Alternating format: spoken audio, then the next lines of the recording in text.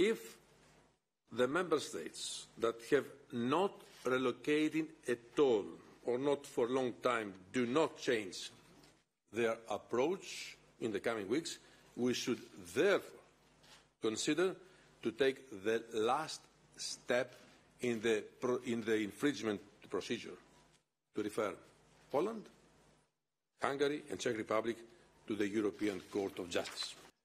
We should not uh, uh, forget that solidarity is a two-way street.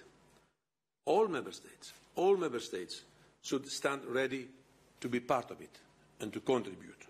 And it is not, as I said, an a la carte dish, one that can be chosen for border management and rejected when it comes to complying with relocation decisions that have been jointly, that have been jointly agreed.